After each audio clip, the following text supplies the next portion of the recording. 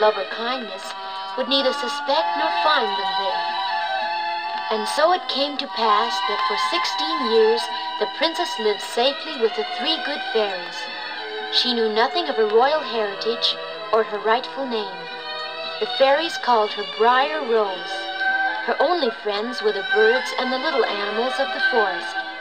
Briar Rose was a happy child, but she was lonely.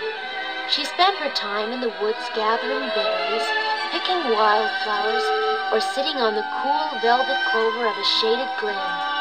The birds, the rabbits, the squirrel, and the owl joined her. One day, surrounded by her woodland friends, Briar Rose paused and sang a plaintive song. I wonder,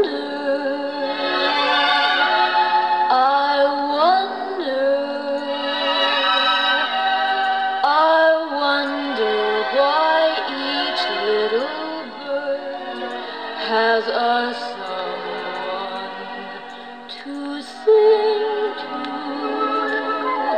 sweet things to